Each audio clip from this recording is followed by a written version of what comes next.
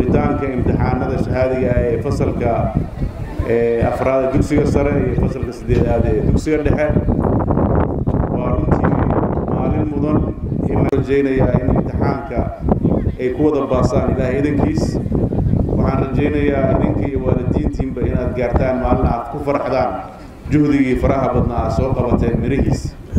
Waan hubaa dadaalka faraha badan aad soo bixiseen inaydan mirihiisa aad helayseen waxaan sidoo kale ku faraxsanahay ardadii magaalada laascaanood ka soo barakacay inay heleen fursad ay tacliintooda ku sii wataan oo wasaaradda waxbarashada puntland ay iska saartay xil adag.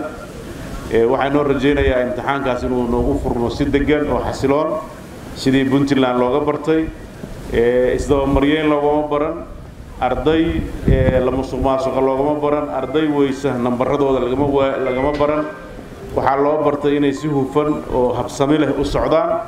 Waan uga mahad celinayaa dhammaan howladeennada waxbarashada ee arrintaa muddada dheer gacanta ku hayay. Waxay u tahay dadka reer puntland guul. Waxay muujiyeen bisayl dowladeed in wax walba oo shaqo ay qabsanayaan inay si degan oo xasilan oo hufan u qabsadaan waxaa sidoo kale si habsamile u soo dhammaaday doorashooyinkii ee soddon degmo. Waxaan rajaynaynaa kuwa kaloo dhimanna inay qabsoomaan. Waxaan iniin rajaynaynaa imtixaanada inaad ku gashaan si xasilan oo degan guul baa iniin rajaynayaa iyo inay imtixaanada iniin fududaadaan haddii ilaahay idmo waan rajaynayaa kolley waa imtixaan oo waa shiddo badan yahay. Ciddii aan wax soo akhrisan ama wakti aan gelin hadde kolley ma jeclayn ardada qaybtooda inay natiijo xumo ku dhacdo laakiin waa wax dabiiciya marka laga hadlayo imtixaan.